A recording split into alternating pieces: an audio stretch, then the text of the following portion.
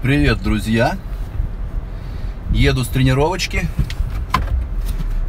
Очередное видео, ответы на ваши вопросы. И сегодня отвечу на часто задаваемый вопрос касательно статики. Как я отношусь к этим упражнениям, почему у меня нет видео про статику. Вот исправляюсь, друзья, делаю, объясняю, что, как и почему. Раньше я делал очень много статики, особенно когда работал, когда занимался единоборствами. Кто проходил это, знает, там отработка в стойке, кибодаче, стоишь там по 30 секунд, минуту, больше кто выдерживал. Что касается статики. Вы знаете, друзья, что я всегда рекомендую вам относиться ко всему, что мы делаем через точку зрения сохранения и улучшения нашего с вами здоровья. Это самое главное, самое важное. Кстати, посмотрите, вот пока едем, подтверждает вот эта вот картина, которую вы видите сейчас, мою теорию того, что мир это матрица. Видите, вот я вам покажу буквально через пару месяцев, что здесь будет. Сколько вот это длится, вы не видите никогда рабочих. А я езжу днем, утром, вот как сейчас, вечером. И никогда не вижу рабочих. Но работы идут. Кто это все делает? Не знаю. Скорее всего, какой-нибудь программист, который сидит, ответственный за этот участок нашего матричного мира. Но это отклонение, друзья. Итак, что касается статики и что я о ней думаю. Статика действительно хорошая работа, может иметь положительный эффект с точки зрения работоспособности, направленной на то или иное развитие физических качеств. Но у статики есть минус, который перечеркивает абсолютно все плюсы. Именно поэтому я не делаю статику никому ее не рекомендую. И мои ученики, естественно, тоже ее не делают. Какой это минус, друзья? Я думаю, что большинство из вас и так догадаются. Минус статики в том, что она поднимает уровень давления на максимум. Особенно если это делать с весом. Если делать без веса, к примеру, стоять в стойках, просто, да, может быть, это еще имеет место быть. Но все равно работа настолько тяжелая, мы начинаем задерживать дыхание, реально очень сильно повышается давление. А это опасно, это чревато. Вот почему я за статодинамику. Или даже просто за негативные удержания. Что это такое? Это когда вы, к примеру, с помощью партнеров, естественно, страхующих, в, в раме, в силовой раме, со страховочными упорами, делаете, к примеру, жим лежа. Но в каком режиме? Естественно, после разминки. Вы выставили вес, вам партнер помогает снять, и контролирует, чтобы вас не задавило. Вес берется на 20, там иногда 30 процентов больше, кто-то может быть больше сможет поднять, чем вы работаете на 6-7 повторений. И ваша задача, сопротивляясь, удерживать вес, но он, естественно, все равно вас будет задавливать. Получается такое как бы негативное повторение, но все равно со статическим удержанием.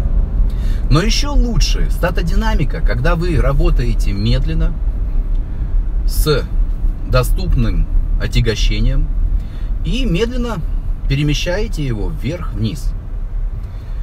Я пробовал, я это делаю, я это постоянно рекомендую всем своим ученикам. У меня даже есть целая группа, где нас уже там почти 300 человек, мы все так тренируемся, закрытая. Сразу говорю, эта группа платная, за вступление туда нужно заплатить. И получаем пользу. Поэтому, друзья, если вы хотите оставаться здоровым. Можно спокойно обходиться без статики, классической статики. Либо выполнять ее в очень короткий промежуток времени, чтобы ваше кровяное давление не успело очень сильно повыситься. А повышается давление внутричерепное, что тоже очень и очень опасно. Кстати, о чудо, левый руль вдруг стал сразу, да, для тех, кто спрашивает меня, почему у меня руль то правый, то левый. Телефон, на какую камеру снимаешь, так он и показывает. Что еще очень важно знать о артериальном давлении? Да, все мы знаем, что это показатель нашего здоровья. Особенно если вы тренирующийся спортсмен. Не спортсмен, даже если вы просто тренируетесь. Тренирующийся человек, правильнее будет сказать. Очень важно отслеживать свое кровяное давление.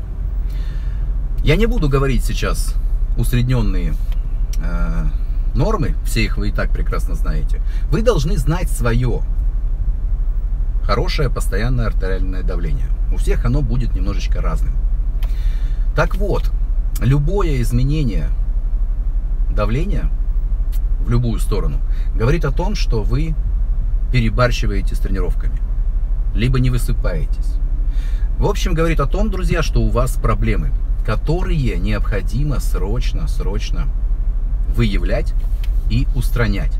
Естественно, если вы хотите дальше прогрессировать. Потому что это первый звонок, что вам грозит перетренированность перетренированность, которая может перейти в синдром хронической усталости. И выйти из этого, поверьте, очень и очень сложно. У меня был такой период, когда я работал на конвейере, тренировался каждый день после этого. Ел, спал, правда, больше ничего не делал, но все равно у меня развился такой синдром хронической усталости. А тогда врачи еще вообще об этом не знали, думали, что люди, такие как я, просто не хотим работать. Ну, доля правды в этом есть. Но реально, друзья, этот синдром очень страшный. Просыпаешься утром, а как будто не спал, как будто пахал всю ночь. Никому не пожелаю такого. Представьте серьезную, э, серьезное заболевание гриппом, к примеру, в острой форме, когда вы вам ломит все тело, температура. Вот синдром хронической усталости, перетренированность – это такое же состояние, только постоянное. Выйти из него, повторяю, очень сложно. Поэтому всегда, друзья, если вы даже надумаете делать статику, подумайте, как снизить риски повышения артериального давления. Каждое утро, просыпаясь, не вставая с кровати, замеряйте свое давление, свой пульс – и только с помощью этого приема, простого очень, вы сможете диагностировать у себя любые первые зачатки перетренированности, недовосстановления, что грамотный человек понимает, насколько это важно.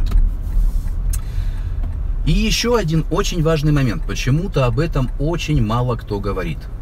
Когда вы тренируетесь с отягощениями, физиологически грамотно с точки зрения физической культуры, с точки зрения э, лечебной физкультуры, даже если хотите. С другими словами, когда мы не тренируемся на результат, не занимаемся спортом, после работы с отягощениями давление нормализуется. И обратите внимание, друзья, нормализуется оно у всех. Если у вас низкое давление, то оно повысится. Если у вас высокое давление, оно опустится. Занятие с отягощением – это лучшее лекарство, как вы видите, и в борьбе с давлением. И обращаю ваше внимание еще раз, неважно, какое у вас давление, начните с занятий отягощениями, очень легкими, дозированными, лимитированными и вы будете всегда, всегда здоровы. Давление у вас будет нормализовываться, приходить к усредненным нормам. И, естественно, это будет сказываться на вашем здоровье. Ну что, друзья, я думаю, что по статике я вкратце вам ответил. И вы примете к сведению. А это уже ваше право. Работать в статике или не работать. Делитесь данным роликом со своими друзьями в соцсетях, ставьте лайк, если понравилось. Если вы не согласны, э, напишите в комментариях, почему, с чем вы не согласны, в чем я не прав, как должно быть, как есть на самом деле. И смело ставьте дизлайк. В этом нет ничего страшного. Спасибо, что смотрите. Увидимся, друзья, как всегда, в тренажерном зале.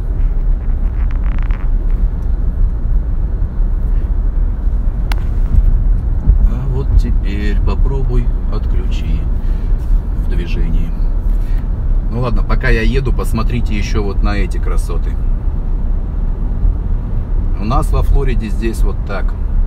Тоже планирую купить дом на берегу озера. Если хотите, это моя мечта. Солнце, позитив, вечное лето. С одной стороны у нас океан, с другой стороны у нас Мексиканский залив. В общем, постоянный позитив. Ну что, всем пока. Всем привет, меня зовут Виталий Фатеев. А, всем подписчикам канала Heavy Metal Gym большой респект. Отдельно Георгию за его те видео, которые он выпускает. Я смотрю то, что очень прогрессивно и идет большой объем информации, в котором просто можно заблудиться, может найти все ответы на ваши вопросы. А скажу вот что, у меня появился свой канал, а, который может тоже найти на ютубе, и у меня уже есть э, первое видео, которое а, я снял совершенно недавно и тоже смонтировал а, специально для вас. Заходите, подписывайтесь. Меня зовут Виталий Фатеев, я профессионал IFBB, занимаюсь бодибилдингом и что, желаю вам прогресса, новых результатов в спорте.